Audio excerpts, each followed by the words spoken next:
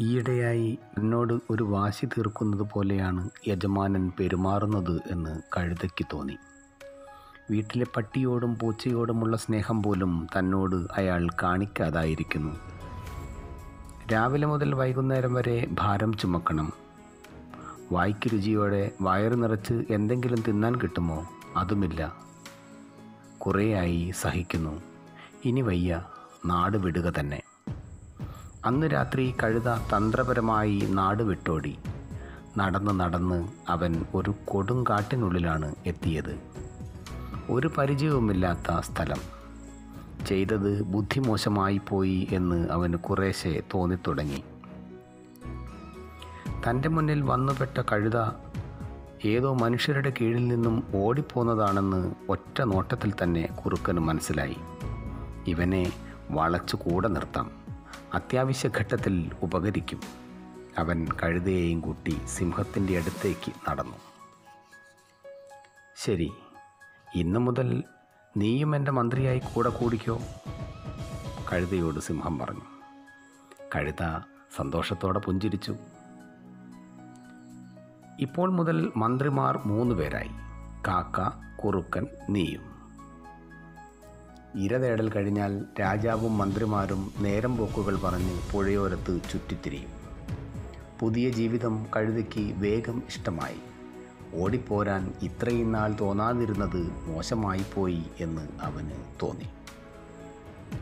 ഒരു ദിവസം സിംഹവും കുറുക്കനും എത്ര ശ്രമിച്ചിട്ടും ഒരു ജീവിയെപ്പോലും കിട്ടിയില്ല. തലേ ദിവസവും കാര്യമായൊന്നും കഴിക്കാത്തതുകൊണ്ട് നല്ല വിശപ്പും ക്ഷീണവും അവരെ തളർത്തി. കാക്കയ്ക്ക് കുറച്ച് പഴങ്ങൾ കിട്ടി. കഴുത പുല്ലു തിന്നു. ഇന്നെന്തു ചെയ്യും? രാജാവ് പട്ടിണി കിടന്നാൽ പിന്നെ നമ്മൾ ജീവിച്ചിരുന്നിട്ട് എന്ത് കാര്യം? അവർ തല പുകഞ്ഞ് ആലോചന തുടങ്ങി.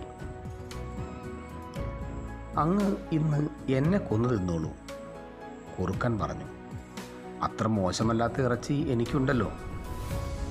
ഛേ സേവകന്മാരെ കൊല്ലുന്നതിന്റെ ചീത്തപ്പേര് വേണ്ട. അല്ല മുന്നേ അങ്ങ് പട്ടിണി കിടക്കുമ്പോൾ നീ ഒന്നും പറയണ്ട. പറഞ്ഞു വന്നാൽ കുറുക്കനും സിംഹവും തമ്മിൽ കുടുംബബന്ധമുണ്ട്. അതുകൊണ്ട് നിന്നെ എനിക്ക് വേണ്ട തിന്നാൻ. എന്നാൽ എന്നെ ആയാലോ? കാക്ക പെട്ടെന്ന് ചോദിച്ചു. മാംസം കുറവാണ്. എന്നാലും നിന്നെ കൊന്ന് തൂവലും കൊക്കും കളഞ്ഞാൽ പിന്നെ എന്റെ വായിൽ നനയാൻ പോലും നീ തികയില്ല. നിന്നെ തിന്നാൽ എന്റെ വായ കേടാകും എന്ന മെച്ചമായിരിക്കും കിട്ടുക.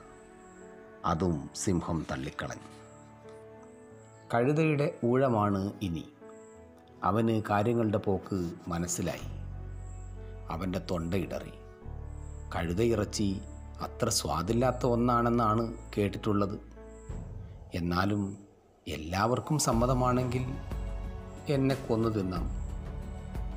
കഴുത പറഞ്ഞു തീരുന്നതിനു മുമ്പ് സിംഹം അവന്റെ മേൽ ചാടി വീണു. കൂട്ടുകാരെ തീരുമാനങ്ങൾ എടുക്കുന്നതിന് മുമ്പ് പല പ്രാവശ്യം ചിന്തിക്കണം. പരിചയമില്ലാത്ത സ്ഥലത്ത് സുഹൃത്തുക്കളെ തിരഞ്ഞെടുക്കുമ്പോൾ നല്ല ശ്രദ്ധയുണ്ടാവണം. ആരെയും അമിതമായി വിശ്വസിക്കരുത്. ശുഭദിനം.